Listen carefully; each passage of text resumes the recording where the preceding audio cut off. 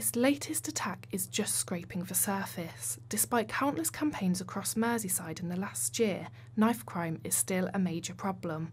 The latest figures to be released show little change, with more than 1,400 attacks involving knives.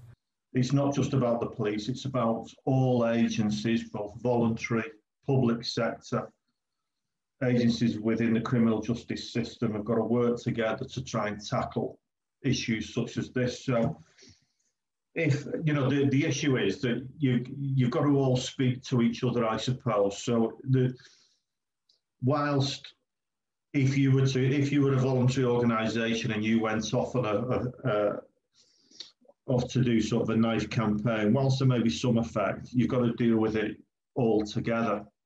And you've got to all speak from the same sheet. So, you know, there's places for everybody to help with this. There are gun crime, gun amnesties, and knife amnesties and you'll see the knife bins in uh, custody suites where members of the public can go in and surrender a knife. Well, they have some effect, but it's limited, certainly around knives, because if I give up a knife, I can just go and get one. I can get one from the kitchen drawer, and that's the problem. These were the results of a knife attack last July that left Stuart Newton fighting for his life.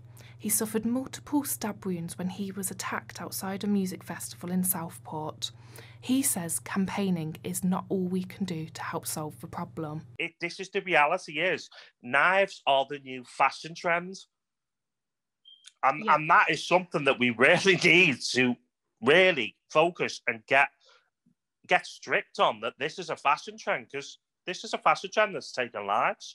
You know, these kids will carry them just to say, oh, look at my mine's better than yours, with no intention of wanting to use it.